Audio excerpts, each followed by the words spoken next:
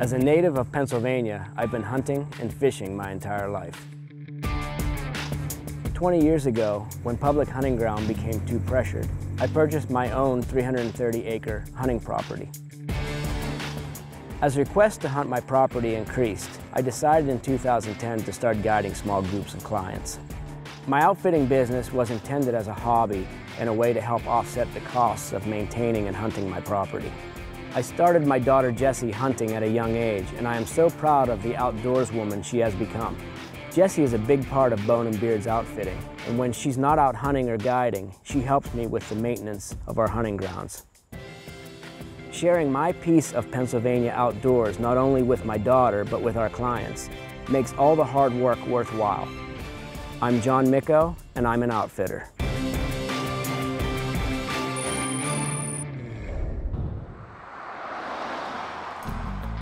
Well, I'm in Pennsylvania and I'm going whitetail hunting with John Micco.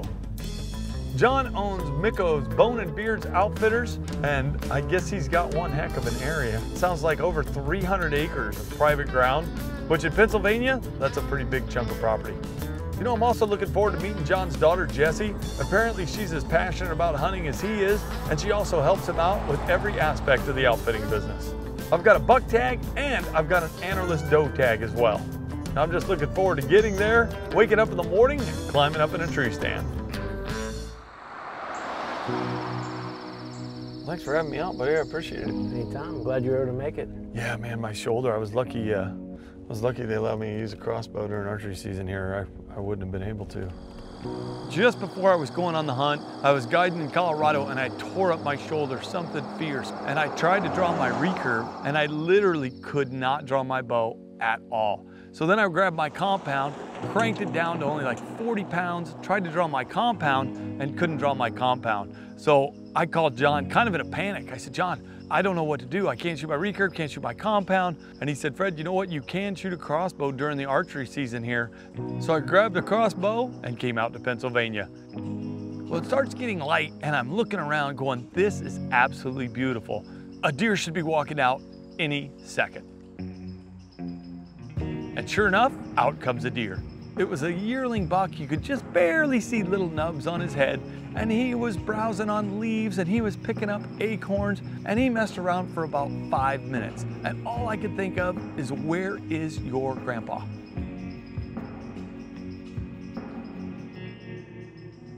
That was pretty cool. First deer in the morning just walked by. Here where I'm hunting in Pennsylvania, there's a minimum a deer has to have least four points on one side. It really helps out their age structure, or at least, you know, the size of the bucks. Most people are taking, you know, decent bucks. I'm not picky, so if it has small, even if it's four small points on one side, I'll take it. One point, here come some dogs. They're running through the woods. Then I see a flash of antlers. A small buck comes running past, and I'm trying to count. One, two, one, two, one, two. Ugh, I couldn't make any more than two points per side. It was a young two by two whitetail, absolutely beautiful, but he wasn't legal. We don't usually have problems with dogs running through, but you know, it happens two or three times in the last 19 years. There's a lot of rubs leading into this spot. There are a lot of trails leading past this spot, and uh, if they're using the trails, it's just a matter of time before they use them while someone's in the stand.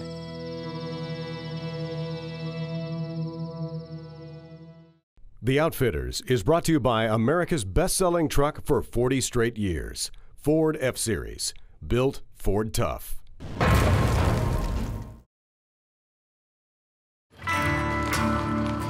Pennsylvania has a lot of hunters. There's a lot of hunting pressure, and there's very little public land that you can hunt anymore besides state game lands. After I bought this property, you start to learn animal habitat and you start to learn habits and watching deer instead of harvesting deer teaches you more than shooting the first thing that comes along. And just watching them come in and see how they react, it's unbelievable how much you learn from that. And Jesse's learned that as well. So you've been hunting with your dad since you were a little girl, like three years old, right? yep. That's awesome. now, how old were you when you killed your first deer? Do you remember? My first deer, 12. I'd say 12. 12 years old, shot your first deer. I just get so excited where like when I get excited my finger starts like just like twiddle like like just go like this and then even like when other people shoot deer I just get like an adrenaline rush from them too See, that's what's cool about guiding though, right? oh my gosh That's the qualities that make a good guide. If you get as excited when somebody else shoots something as you do, to me, you're truly passionate about it. I love it so much I really do it's hard when you have like other things that you have to do like school and the army and stuff like I have Yeah, school and work sometimes get in the way of playing all the time, doesn't it? all the time You know, Jesse, what I'm impressed about, that piece of property you guys have is amazing. We've done a lot to it since my dad bought it. This is like his passion. This is like all he loves to do. And so all year long we just work on it. So I try to help him out as much as I can. He cuts trails, we mow, we plant food plots, anything and everything that we can do to make the seasons better for him and obviously other people too, but he just loves it. So tell me about where you're taking me tonight. Near the apple orchard, there's a ton of apple trees. It's loaded with sign. There's tracks everywhere, rubs everywhere. It's just incredible, like all of the sign that's there. Sounds like a pretty cool spot. Oh, I can't wait till I get to hunt it. I love it. well, we have arrived. We've arrived at my spot. I like it. You know, I knew it was going to be a challenge hunting Pennsylvania deer. They're pretty educated deer because there are a lot of hunters. So I knew deer hunting in Pennsylvania was going to be a challenge. You know, it's the middle of October and the rut hasn't really kicked in, but John's place is pretty awesome because he's also got agriculture. All right, I'll see you later. See ya. So not only do the deer have tons of natural browse, but there's also agriculture that they're hitting as well. So if you've got the food and the bedding area, well, you're gonna have the deer. Well, I just got into the new spot here. You can see the old apple orchard in front of me. That's pretty cool. There's an old creek, little trickle. There's fresh tracks right down below me. It looks really good. So pretty excited about this spot. It's almost like stepping back in time. You know, somebody probably had an old cabin in here or something. And they probably made fresh apple pie out of those apples which is actually making me hungry. He's got nice long brow tines, almost six inches. This is the guy I want Fred to get. This apple tree right here is right across from where that thicket of trees is, uh, along the edge of the bean fields. We could probably put a ground blind in there for Fred because he has a bum shoulder. Well, I'm a college student at Clarion University. I'm in the ROTC program there. I go to class all day long. I'm a bio major, so basically my life just revolves around the army and school and hunting, obviously. So hunting is my break, you know? So even though technically sometimes I'm working for helping other people out, this is my break. It's my break to me. Good? Yeah, you look good. Hunting is like my relationship with my dad. It's what we do all the time together. Like that's the one thing that him and I connect with. A lot of people connect with their parents on maybe sports or other hobbies, but like hunting is my way of connecting with my dad. We go out almost every day in all the seasons, all the hunting seasons. It's really cool. Like I learned so much from him and it's just a great experience, honestly. It just looks good in here. Lots of deer trails, lots of sign, It's everywhere. lots of tracks. And my dad actually didn't learn how to hunt from his dad, and he actually learned from a friend back when he was in high school. And so I think it's cool that he passed that to my dad, and my dad passed it on to me. And obviously I'm gonna pass it on to my kids as well. My kids are gonna be hunters, that's, that's a definite. But this is our setup for tonight. Looks good. I've arranged a couple shots. If anything happens in here tonight,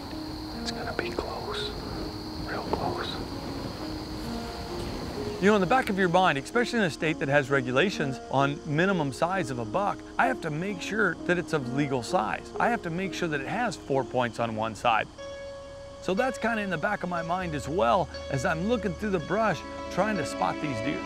And then right in front of me, coming through the trail, I spot a buck. I'm super excited. This may be a legal deer, and I'm trying to count. No, it's not. So this deer comes up, and it's a beautiful dark colored 2x2 and of course he presents a perfect shooting opportunity.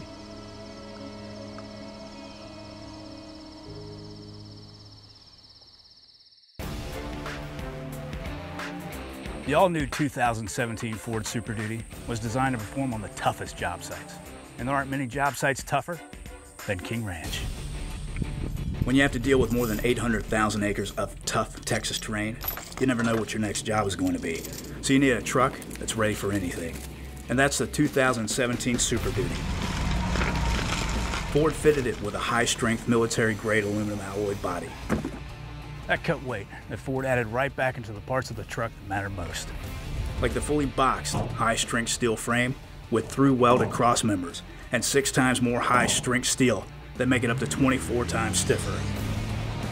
The all-new 2017 Super Duty also offers the best towing power and best payload of any Super Duty ever. This is the next level. And this is why Ford says, we own work.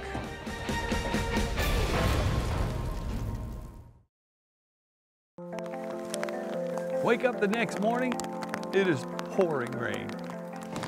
Well, John had it covered. Him and his daughter had set up a pop-up blind for me, so that was my location for the next morning. Well, we're in a different spot this morning. Had a little bit of cover here.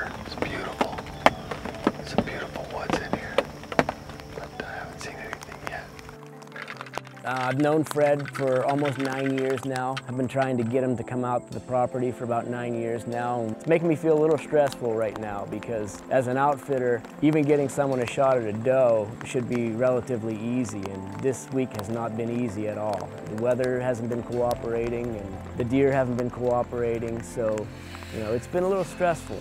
And um, just because the hunter's out in the woods right now hunting doesn't mean my day is over. Yeah, Mike, this is the cable I was telling you about. I have no idea where it's gonna go. How far back you think? No idea. We'll give her a shot. Okay. Today we're gonna use the F-150 and we're gonna pull some major cables out of the ground. We have some cables that were left over from the strip mining about 40 years ago. They're pretty large cables and we're not sure how deep they go or what's connected to the end of them. All right, Mike, why don't you stay here and just let me know when the, when the strap is tight. Okay. Okay? Yep. Michael Joseph's coming out to help today. He's one of my best clients and a good friend of mine and skipped work this afternoon to come give me a hand. One down, one to go. Looks good. You get the tailgate, Mike? Sure. Ready? Yep.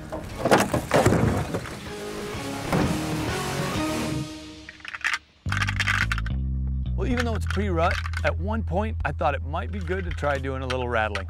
Well, I felt good doing it. I knew it was early, but you never know, so I gave it a shot.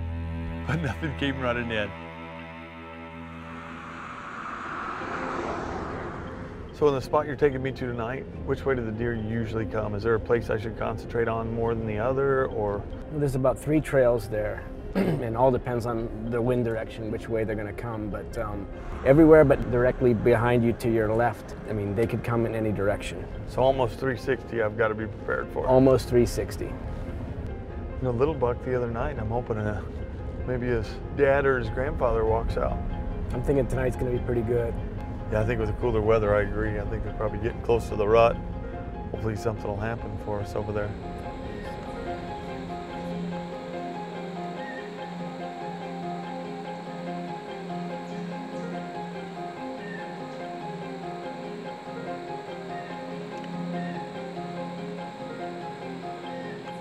At one point, I've got a couple does out in front of me, but they're nervous. I don't know if they smelled where I had walked in. I don't know if the dogs were around, coyotes, but something had these does super nervous. So I watched those deer. They finally moved off through the bottom. I really want to take some meat back, but not so bad that I'm going to take a risky shot.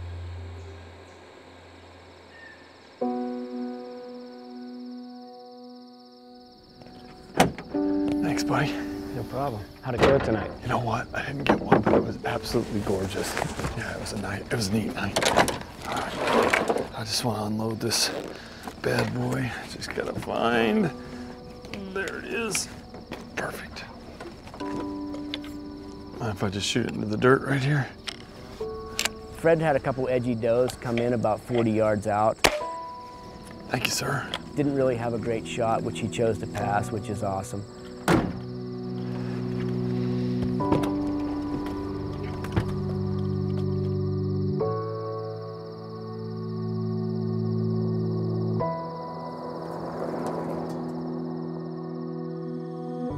We thought we'd definitely change things up this morning. We're gonna send him to the, our normal evening spot in the morning. The apples have been cleaned up by the time he gets there in the evening. So we're hoping that if we get him in there this morning, they'll come in to feed and he'll get an opportunity this morning.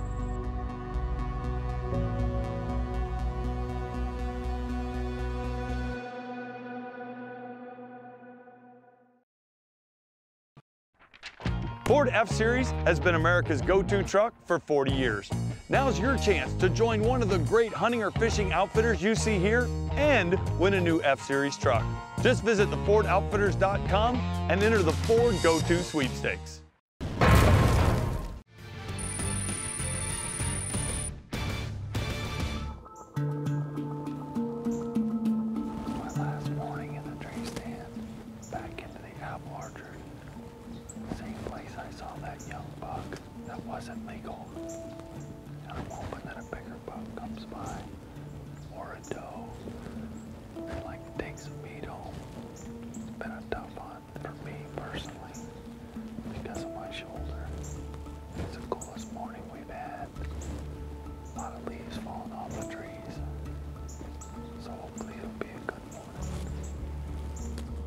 I'm scanning the woods, it's starting to get lighter.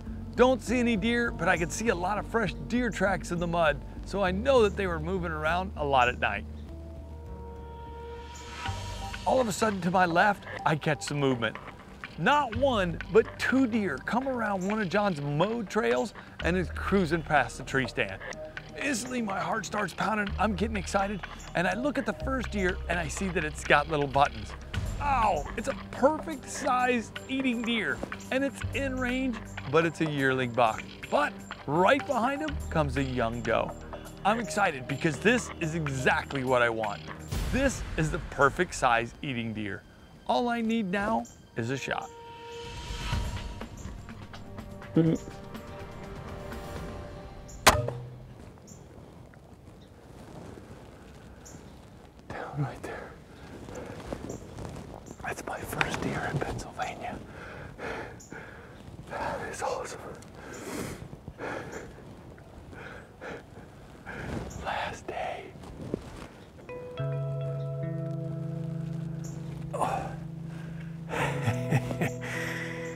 Yep, old shoulder's hurting.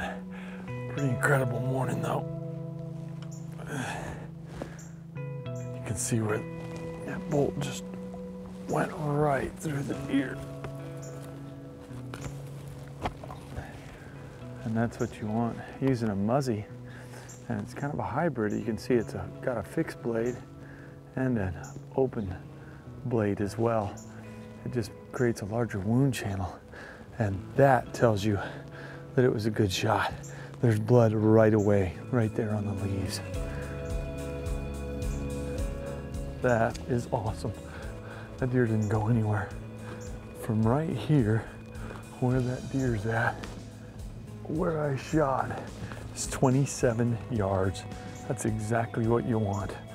That's what every hunter wants, you know, a quick, clean kill on a beautiful animal. And uh, that is gonna be some incredible meat on this beautiful doe. I could not be happier shot exactly where I wanted. Uh, the arrow came out right below the point of the shoulder there.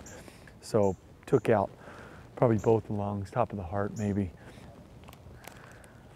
So here's my Pennsylvania deer tag and I've got to attach that to the ear. And I'm also gonna let John know because he'll be excited. He'll want to come out here and not only celebrate it with me, but also probably help me get it out of the field deer down.